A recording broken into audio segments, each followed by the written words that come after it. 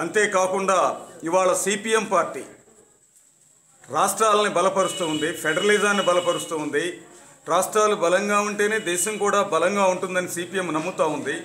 అందుకనే రాష్ట్ర శాసనసభల అభిప్రాయం లేకుండా ఏ రాష్ట్రాన్ని చేల్చకూడదని చెప్పేసి ఈ రెండు వేల పద్నాలుగు సాధారణ ఎన్నికల్లో విడుదల చేసినటువంటి సిపిఎం ఎన్నికల ప్రణాళికలో ఆర్టికల్ త్రీని సమీక్షించాలి సవరించాలి రాష్ట్రాల మీద కేంద్రం దౌర్జన్యంగా దుర్మార్గంగా పెత్తనం చేసి చేల్చడానికి వ్యతిరేకంగా దాన్ని సవరించాలా అని చెప్పేసి అనేటువంటిది సిపిఎం పార్టీ మాత్రమే ఎన్నికల ప్రణాళికలో పెట్టిందని చెప్పేసి మనం చేస్తాం అందువలన నిరంతరం పేద ప్రజల కోసం పేద ప్రజల సౌకర్యాల కోసం పేద ప్రజల హక్కుల్ని కాపాడే దానికోసం కమ్యూనిస్ట్ పార్టీ నిరంతరము రాత్రింబవళ్ళు ఇక్కడ శ్రమిస్తూ ఉద్యమాలు నడుపుతూ ఉంది.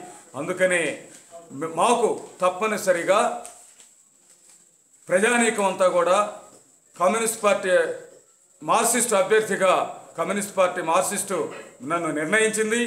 ప్రజానీకంలో నిరంతరం సంబంధాలు కలిగినటువంటి వాడిగా నన్ను రైతులు వ్యవసాయ కార్మికులు పేదలు అందరూ కూడా నన్ను బలపరుస్తారని అట్లాగే ఇవాళ సిపిఎం పార్టీ పోరాటం చేసినందువలన రాష్ట్ర స్థాయిలో బివి రాహుల్ గారు పోరాటం చేసినందువలన ఎస్సీ ఎస్టీ సప్లాన్ చట్టం వచ్చింది. అట్లాగే ఈ నియోజకవర్గంలో చౌటబాబాయిపాలెంలో అట్లాగే దేవరంపాట్లో ఇంకా అనేక గ్రామాల్లో దళితుల మీద దాడి జరిగితే ఆ దాడి జరిపినటువంటి వాళ్ళ మీద చర్య తీసుకునేదాకా అరెస్ట్ చేసేదాకా వాళ్ళకి అండగా నిలబడింది కమ్యూనిస్ట్ పార్టీ మార్క్సిస్ట్ అని చెప్పేసి తెలియజేస్తున్నాం.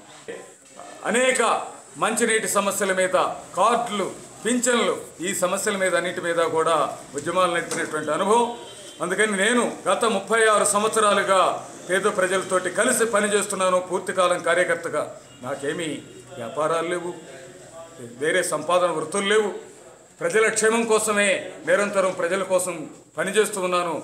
అందుకని తప్పనిసరిగా ప్రజలు నన్ను ఆదరిస్తారని చెప్పేసి నాకు ఓటు వేసి గెలిపిస్తారని చెప్పేసి నాకు ఓటు వేసి గెలిపించడం ద్వారా ఈ ప్రజా ఉద్యమాల్ని మరింత ముందుకు తీసుకుపోయి ఈ ప్రజా సమస్యల పరిష్కారానికి కృషి చేసేదానికి నాకు అవకాశం ఇస్తారని నాకు అవకాశం ఇస్తే ప్రజల మాటని ప్రజల వయస్సుని శాసనసభలో ప్రతిధ్వనింపజేస్తానని అందుకు ప్రజానీకం అంతా నన్ను బలపరుస్తారు.